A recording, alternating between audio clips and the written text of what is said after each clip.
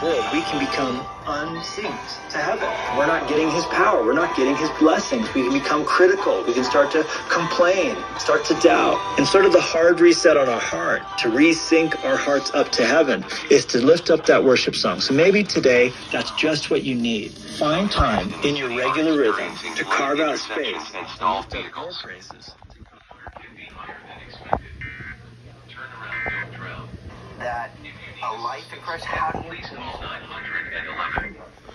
And so sometimes these things can be as a gift to you, and you look at it like something you're going to run from. The city of Portsmouth has experienced 1 2 uh, inches of rain in the past two hours. walk you through. Some areas in the city are experiencing flooded intersections and stalled vehicles. Water can be higher than expected. Turn around, don't drown. If you need assistance, please call 911.